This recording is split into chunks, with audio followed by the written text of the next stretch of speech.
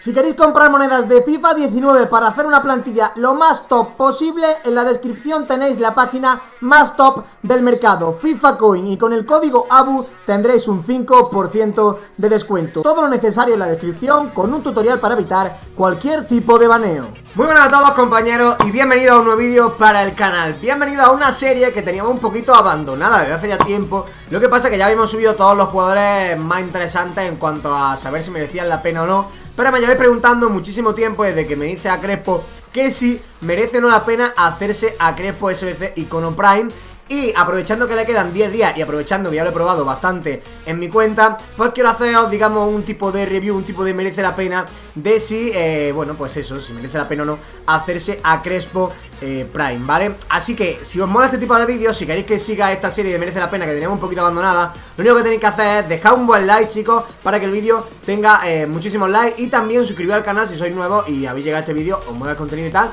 pues podéis suscribir activando la campanita. También quiero que me dejéis en los comentarios qué jugadores os molaría ver en siguientes episodios de Merece la Pena, ya que si este Merece la Pena es muy apoyado, haré otro próximamente, así que bueno, pues si me dejáis los comentarios, ah, Merece la Pena de este jugador, no tiene que ser icono, puede ser un if, el que os dé la gana, eso sí, os dejaré aquí en tarjetas la lista de, de la serie que llevamos por si ya lo he hecho para que lo veáis y no me lo dejéis en los comentarios. Y abajo también tenéis en la descripción muy importante un sorteo para ganar una sudadera o una camiseta como las que salen en mi vídeo. Y si no queréis participar en el sorteo, que simplemente es dar retweet y seguir a una cuenta, pues si no queréis participar también tenéis la web por si queréis comprar directamente. Así que dicho todo esto, vamos ya al lío. Y como he dicho, tenemos a Crespo, icono Prime, lo tenemos en pantalla media 90 con 89 de ritmo, 90 de tiro, 72 de pase, 89 de regate 38 de defensa, que nos viene dando lo mismo, y 73 de físico. Un icono, que ahora veremos su precio, un icono que ahora veremos más detenidamente cada starting game suyo, su estrella de regate, su estrella de filigrana,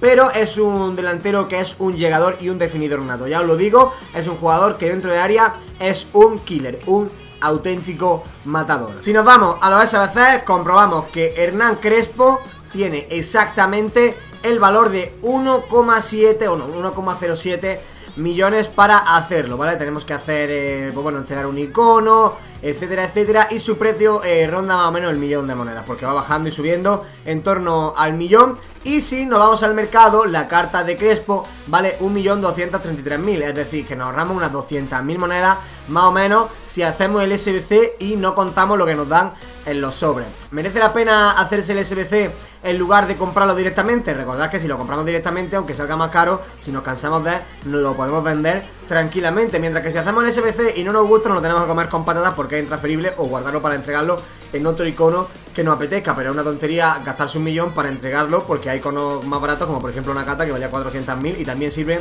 para, para entregarlo. Los sobres que dan, bueno, son sobres medio que, hay algún sobre de, de 100.000 si no recuerdo, el Jumbo, a ver, Rare Mega Pack...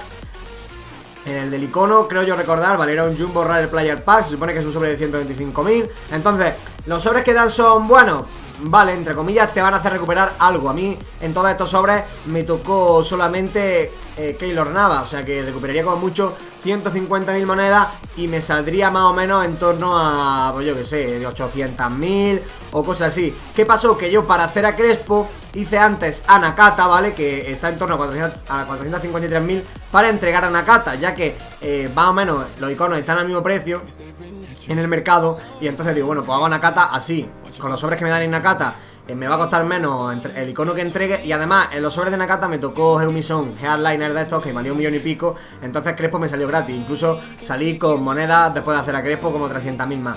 Pero bueno, eh, lógicamente si, si haces a Crespo por aquí Te va a llevar todos los sobres que te dan Y va a bajar su precio Así que al final te puede salir teniendo mala suerte por 800.000 monedas y te está ahorrando casi 500.000 respecto a la carta que se puede vender. Así que bueno, puede estar bien hacerlo eh, Pero bueno, antes de eso vamos a ver los starting game Y voy a daros mi opinión personal. Así que vamos a pasar a ver cómo me ha funcionado a mí. Aquí lo tenemos Y como podéis ver, en 25 partidos Todo en Full Champion ha marcado 25 goles Y ha dado 9 asistencias con una tarjeta amarilla tiene 4 de pierna mala, tiene 4 de filigrana Así que es una cosa de las que yo eh, solicito siempre a mis delanteros Que tengan 4 de skill y que también tengan como mínimo 4 de pierna mala.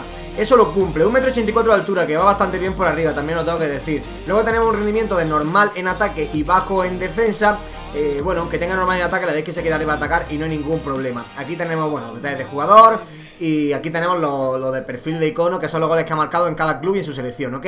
Vamos a detalles de atributo y aunque ponga aquí menos 9 y todo eso, no hagáis caso, porque es que simplemente es porque no tiene química. Creo que si lo ponemos en el banquillo eso no lo estamos viendo, que es bastante molesto. Bueno, menos 6, no pasa nada, lo estamos viendo igualmente Pero no pasa absolutamente nada. No le hagáis mucho caso y ya está. En primer lugar vemos que tiene 89 de ritmo, tanto de velocidad como de aceleración. Es un jugador que al espacio va bastante bien Luego tenemos el tema del tiro Un tiro genial, con una definición de 94 eh, Le falla un poquito el tiro lejano quizá Pero mete cada pepo de tiro lejano que es espectacular. Yo no sé cómo tiene, solamente tiene 82 in-game. En el tema del pase, en el pase largo sufre un poquito Pero en el pase corto va bastante decente. Es un jugador que tiene 4 skills y además tiene un 90 de agilidad Con un 89 de regate, un 88 de control de balón. Así que no es para nada lento, es muy muy ágil. A mí me gusta muchísimo, además tiene ese 85 de equilibrio Que unido a ese 78 de fuerza lo hacen ir bastante bien también físicamente. Un remate de cabeza de 92 con un salto de 88 que midiendo 1,84m la verdad es que es bastante, bastante top por arriba. Y una resistencia de 80 que le permite pues eh, llegar bien al final de cada partido. En definitiva es un delantero que a mí me está gustando bastante, me, está pareciendo bastante interesante. Pero vamos a analizar un poquito más a fondo mientras vemos unos goles de fondo, eh, bueno pues como como es Crespo, ¿vale? Y es que como he comentado es un delantero que es un animal De cara a portería lo va a meter prácticamente todo Da igual la izquierda, da igual la derecha Da igual si le pega de más cerca, de más lejos, de vaselina, de volea Da exactamente lo mismo Porque es un definidor, es un devorarredes Es, vamos, todo lo que pilla lo mete en la jaula y bueno, pues claro, de ahí viene su posicionamiento en ataque que tiene 91, su definición de 94, una potencia de tiro de 87, le pegáis de lejos y va el balón con una fuerza increíble y aunque tenga un tiro lejano de 82 como hemos dicho antes, a mí me parece que tiene bastante más. Voleas de, 87, incluso penaltis de 90 y con la aceleración y la velocidad que tiene, si le hay algún estilo de química que le potencia el ritmo, la verdad es que al espacio es imparable, de verdad, unido a, la envergadura que tiene, esa velocidad es imparable. Quizá le falte un poquito de pase, es cierto, eh, sobre todo el pase corto, Quizá le falte un poquito de efecto, pero a mí la verdad es que me mete bastantes goles y bastantes goles de calidad. Tiene una agilidad increíble, es súper ágil, un jugador que va muy bien, con 92 de compostura, no se va a poner nervioso nunca a la hora de definir en un momento importante del partido. Tiene anticipación, tiene equilibrio. Como hemos dicho, es un jugador que va muy muy fino a la hora de moverse y eso se agradece mucho, sobre todo cuando hay delay.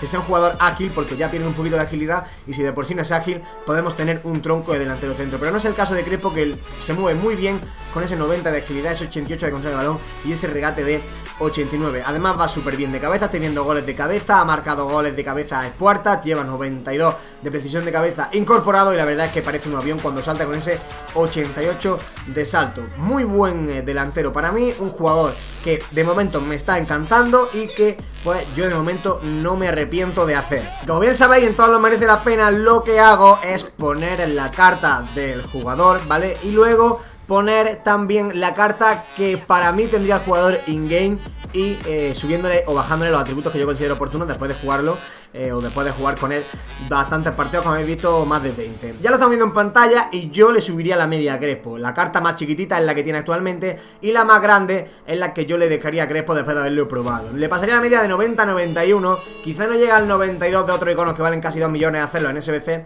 pero sí que al 91 debería llegar tranquilamente. Le he subido un puntito el ritmo, ¿por qué? Porque es muy rápido, muy muy pero que muy rápido. Quiero deciros también que yo lo he probado en básico, no lo he probado con ningún estilo de química, porque claro, si le das cazador, pues a lo mejor te parece que tiene 94 de ritmo y realmente es porque ha dado el tiro de química. Yo lo he probado en básico y eh, para mí tiene más ritmo del que, del que marca la carta, por lo menos 90. También tiene una definición increíble, tanto con la izquierda como con la derecha. Le pondría casi 5 de pierna mala porque con la zurda es increíblemente bueno. He metido goles desde muy lejos con la izquierda y la verdad es que define muy bien. Le da prácticamente igual. Hay jugadores que a lo mejor cuando va a tirar eh, se perfilan a la pierna buena y Crespo le da lo mismo. Si está perfilado para un lado o para otro, le pega con la que sea y la verdad es que casi siempre va para adentro. No suele fallar casi ningún, casi ningún tiro y rara vez, rara vez va a perdonar dentro del área. 92 de tiro, por lo tanto le pondría. También le pondría un poquito más de pase, ya que creo que pase corto que tiene no es cierto, porque yo en me asocio muy muy precisamente en corto y tiene más de 70 y pico que tenía. Y además el largo también suele meter buenos balones, además muy buenos balones y no tiene el 50 y pico que tiene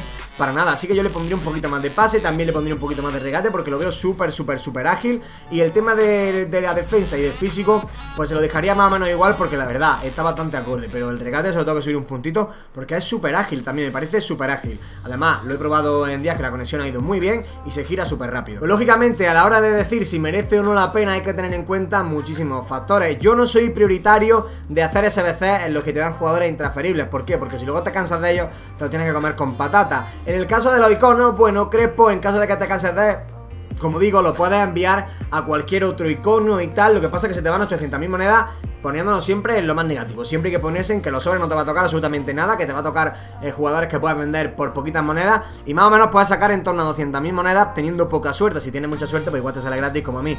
Pero no es el caso. Yo os recomiendo que si os lo vais a hacer, eh, hagáis a, Nakata, por ejemplo, para entregarlo, que no compréis un icono y lo entreguéis directamente. Hacéis a Nakata o dan a Nakata y lo entregáis en el, en el icono de, SBC de Hernán Crespo. Así os saldrá más barato. Además tendréis mucho más sobres para abrir y podéis rentar muchísimo más a Crespo.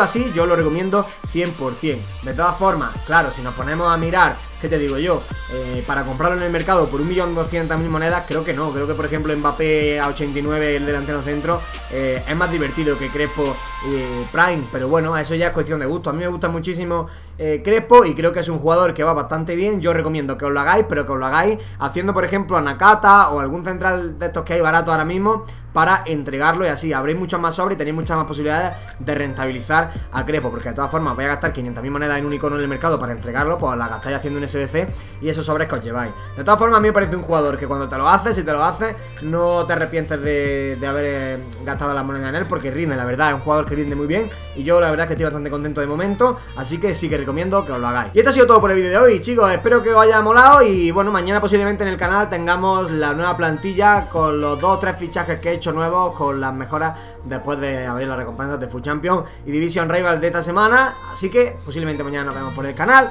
Un saludito, espero que haya molado, dejad like, suscribiros, comentad qué jugador os molaría ver el siguiente episodio de Merece la Pena y nos vemos en el siguiente vídeo. Hasta entonces, chao.